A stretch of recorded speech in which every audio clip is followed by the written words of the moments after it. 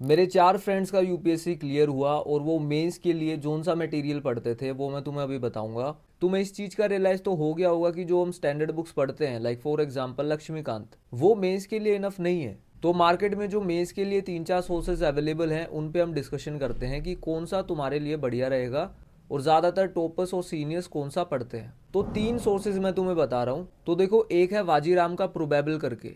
दूसरा पीडब्ल्यू का प्रहार और तीसरा विजन आई की मेज 365 तो देखो, ये तीनों तो हम नहीं पढ़ सकते। ये तीनों में डिफरेंस है काफ़ी। तो इसमें से बेस्ट कौन सा होगा तुम्हारे लिए, उस पर डिस्कशन करते हैं। सबसे पहले बात करते हैं वाजीराम एंड रवि की। प्रोबेबल करके मैगजीन्स आती हैं दो। करीब 400 साढ़े चार पेज की एक मैगजीन होती है वो तो टोटल करके वो करीब 900 पेज के आसपास हो जाती है।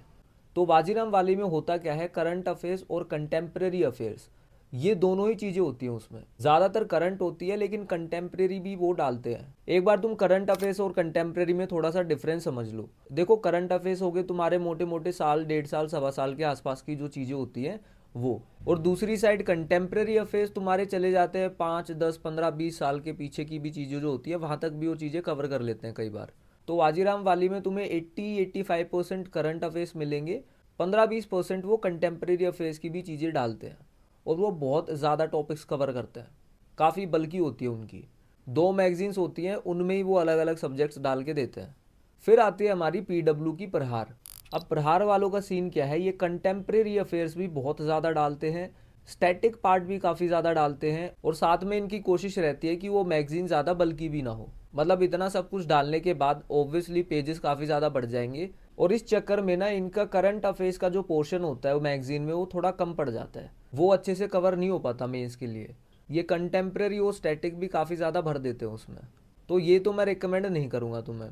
अब बात करते हैं मेज 365 की। ये है तुम्हारी करंट अफेयर्स की बस। साल, सवा साल मैक्सिमम इतना ही होता है। इसमें पाँच छः साल पहले वाली खबरें नहीं मिलेंगी तुम्हें। जैसे पीडब्ल्यू वालों ने तो एल रिफॉर्म्स बताए हुए हैं नाइनटीन के भी। इन्होंने नहीं बताए हुए ये करंट अफेयर्स के मुद्दे उठाते हैं। और लास्ट में ये पी वाई क्यूज़ वगैरह भी दे रखे होते हैं, इन्होंने और फैक्ट्स वगैरह भी दिए होते हैं अलग से। तो ज़्यादातर जो सीनियर्स हैं या फिर जिन्होंने क्लियर भी किया है, या फिर जो मेरे फ्रेंड्स थे जिन्होंने क्लियर किया, वो सारे मेज थ्री सिक्सटी फाइव ही पढ़ते हैं। क्योंकि जो तुम्हारा स्टैटिक पार्ट और कंटेम्प्रेरी अफेयर्स वाला जो सीन है, वो तुम किताब में अपना पढ़ लेते हो लेक्चर्स में पढ़ लेते हो। तो तुम्हारा मेन टारगेट होता है कि इन मैगजीन से करंट अफेयर्स वाला जो मुद्दा होता है, वो उठा के अपने आंसर्स में वैल्यू एडिशन कर लें। तो उसके लिए सिक्सटी फाइव काफ़ी ज़्यादा सही लगती है फिर। और ये मेज 365 ना सब्जेक्ट वाइज आती है पॉलिटी गवर्नेंस की इंटरनेशनल रिलेशंस की सोसाइटी की एथिक्स की अलग अलग करके। जी एस वन के जो सब्जेक्ट्स हैं हिस्ट्री या फिर जोग्राफी हो गया, उसके मेज 365 नहीं आती।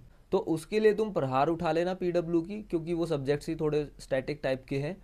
थोड़ा बहुत जो करंट अफेयर्स का जो फैक्टर रहता है जोग्राफी में या फिर आर्ट एंड कल्चर में, वो लोगों को दे देते हैं, उसकी कोई दिक्कत नहीं है। लेकिन जो तुम्हारे सब्जेक्ट्स आते हैं G S two G S three और जी एस फोर उसके लिए मेन थ्री सिक्सटी फाइव उठाओगे तो वो ज़्यादा बेटर रहेगी। इसकी पीडीएफ हिंदी और इंग्लिश मीडियम में फ्री में अवेलेबल होती है। तुम्हें इनका प्रिंट आउट निकलवाना है प्रिंट आउट निकलवा लो या फिर मेन थ्री सिक्सटी फाइव का तुम्हें लिंक भी मिल रहा होगा अमेजोन या फ्लिपकार्ट का, देख लेना। वहाँ से मंगवानी है, वहाँ से मंगवाओ। तुम्हारी मर्ज़ी है।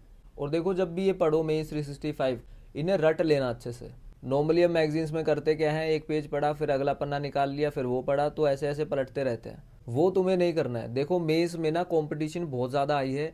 सीनियर्स भी बैठेंगे वहाँ पे थर्ड फोर्थ अटैम्प्ट वाले। सबसे ज़्यादा खतरनाक वही होते हैं एग्ज़ाम में ट्रस्ट मी और उनका एक्सपीरियंस इतना हो चुका है उन पर टाइम इतना था कि वो बहुत सारी चीज़ें रट गए। देखो, तीन घंटे में तुम्हें बीस क्वेश्चन निपटाने हैं तो वहाँ पे तुम सोचने पे ज़्यादा टाइम नहीं दे सकते। Rank one Aditya Shrivastava sir ने बोला था कि वो तीस, चालीस सेकंड लेते थे सोचने के लिए, फिर लिखना चालू कर देते थे। आई वुड से कि मैक्सिमम आप थर्टी सेकंड्स दे सकते हैं क्वेश्चन के बारे में सोचने के लिए, उससे ज़्यादा टाइम नहीं होता है।